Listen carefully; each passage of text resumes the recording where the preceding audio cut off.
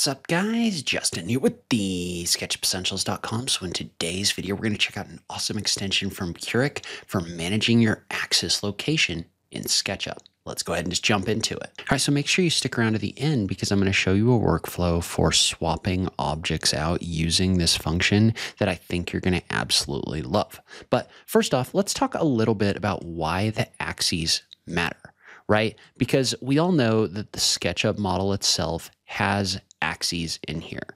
And the axes that we have in here set the direction of your inferencing as well as like the central point of your model. However, what a lot of people don't know, or I guess maybe they just don't think about it all that much, is whenever you group an object, those objects all have their own axis. And so these axes for the objects are really important because they do a few different things. And so basically the way the object axes work is they define the object's location in the 3D space. And then within the object, you can also have a distance from the axes as well. So if I move this over, notice how this object still has an axis that's over here.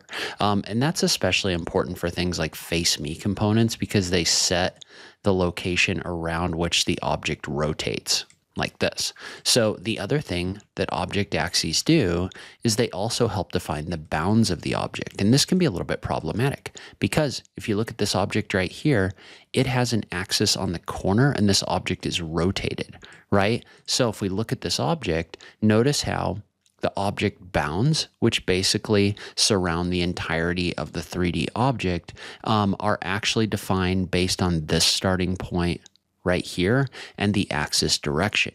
So what we have is we have a bounding box right here that doesn't align with the actual geometry in here. Well, then if you try to scale the object, notice how the object bounds don't align with this object anymore. Instead, they align with the object axes rather than the object geometry like this. And this can get even more complex when you have an object that's rotated on multiple different axes from the object origin. So again, notice how that bounding box is set right here. And so what that means is that means when you scale this object, you get a little bit of a nonsense scale on here. So the bounds are going to set the direction of that scale box. And so let's say that we wanted to fix the scale on this, what we could do, and this is before we ever get to this extension, right? What we could do is we could realign the object axes. Notice how these are the axes actually within the object. But when we do that, the bounds of the object change as well. And so if we scale this like this, notice how our scaling now aligns with this object. And so a lot of the time what you want is you want to place your object axes right in the middle of an object like this? Well, when you have an object that isn't symmetrical, like this tree symbol that I downloaded from the 3D warehouse, that can be a little bit problematic. That's where Curic Axis comes in. And so Curic Axis is a tool that you can download from Curic's Gumroad page, and you can actually download it for free if you want to, that is set up to help you quickly set axes for objects in SketchUp. So this can be massively valuable for automating the process of setting those axis locations. So if you want to download it for free, you can put a value of $0 in here, though I do recommend if you can um, put in a value that you're willing to pay and uh, make kind of a donation to Curic when you download it because um, supporting developers as they create awesome extensions like this allows them to keep doing it. But either way, I'll link to this in the notes down below and you can download Curic Axis. And so once you install this extension, you can right click in your uh, extensions or toolbar area and you can click on Curic Axes in order to get this to show up. And so what you do is you select an object and you can click on the option for set axes. Notice what that's going to do is that's going to give you a series of snap points based on your object orientation. You'll get more snap points when this is in 3D, but in this case, notice how this is giving me a number of different snap points in here. Now, you can hold the control key in order to see the bottom only, but notice how I can pick the center of this object, and then I can click off of it. Well, now if I click into this object, you can see how these axes are being placed based on whatever point that I pick, like this. So moving the axes around gets really simple from that standpoint when you do this. Now, one cool thing about this is when you use this tool, not only can you pick it based on a location like that. But let's say we wanted to fix the axes on this object, you could click right here and notice how it's going to give you points on the bounding box of the object.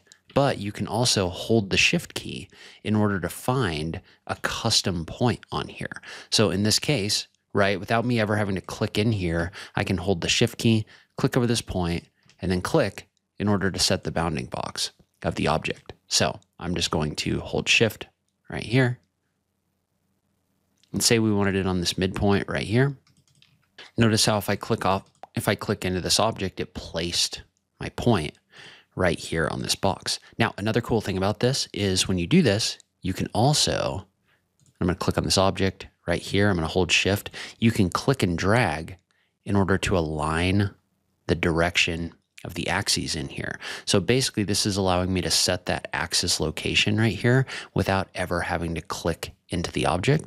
So I can click like this in order to set this object. Now another cool thing about this is you can also, when you do that, you can hit the tab key and notice how it's going to um, basically move this around in different locations or different directions like this. If you don't like it, you could try putting it in here like this in order to get a different rotation. But then when I let up on this, I click off of it and then I double click. Notice how my bounding box has now been aligned based on this location right here. Okay, so another great example of why this might be important is if you're dealing with a tree like this one, this is just one I downloaded from the 3D warehouse. Well, if you double click in here, notice how the axis location is on the corner. Well, that's problematic, A, because if I want to swap this out, um, that's going to cause issues, but B, if I used a random rotation plugin, which I'm going to show you in a second, um, it would kind of move it all over the place, right? But if I select this object, I can click in here and notice how it gives me this bounding box. It shows me where the existing is right here. Well, notice how if I hold the control key, this is going to give me the option to do a bottom only, and I can find the center of the object based on the bounds right here. So um, this is based on the bounds of the object, not on the actual geometry that's down here, but it allows you to quickly find the center of the object like this. Now, if I double click in here, notice how my axes are in the middle like this. Now, one of the cool things about this, this is just a collection of plants that I downloaded off the 3D warehouse, but notice how most of them, the axes are not centered on the object, right? They're like off of the object a little bit. You can actually select multiple objects, tap on this, and notice how they're all selected. Well, if you hold the control key right here, you can find the center of all of them at once.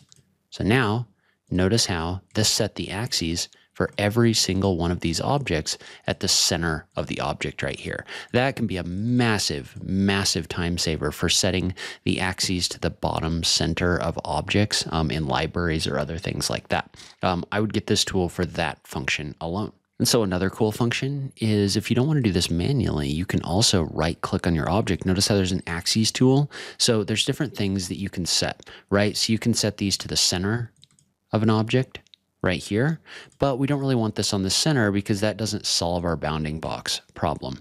But if you right click on this, go to axes and you click on align to longest edge, what it's going to do is it's going to come in here and it's going to align this to the longest edge and it's going to allow you to pick a point, right? So if I click in here after it aligns to the longest edge, notice how that's actually going to allow me to set my model axes aligned to the longest edge of this object at a point that I selected in here. So again, massive, massive time saver.